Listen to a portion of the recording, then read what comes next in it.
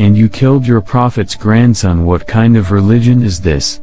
It's like as if you do not believe on prophethood of your prophet, that is why you have done this injustice.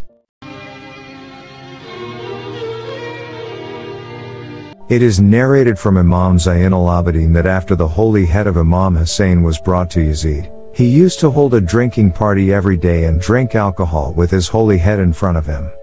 One day a representative of the Roman emperor came to Yazid's party. He asked Yazid, O king of Arabia! Whose head is this? Yazid replied, Why do you want to ask this?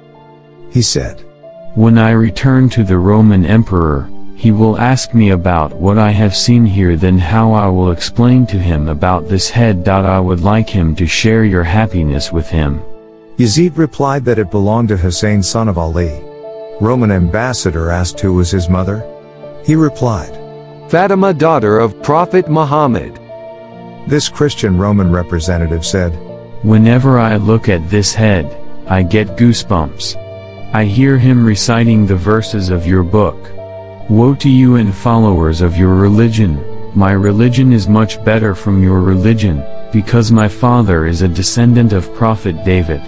There is a great distance between me and him, yet all Christians respect me and take the dust of my feet as a blessing, and you killed your prophet's grandson what kind of religion is this?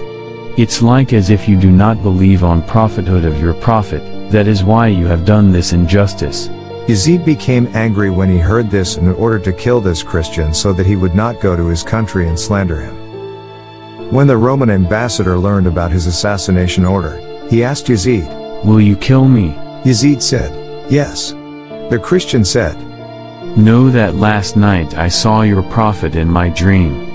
He was saying to me, O Christian, you are one of the people of paradise. I was amazed at this good news. After Roman ambassador lifted the holy head of Imam Hussein, hugged it and kept on kissing him and crying. Then he said to him, السلام عليك يا أبا عبد الله الحسين ورحمة الله وبركاته.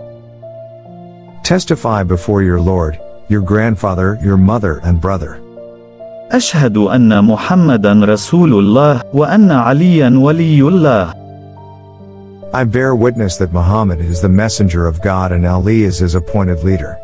After that, he was killed on orders of Yazid and attained martyrdom.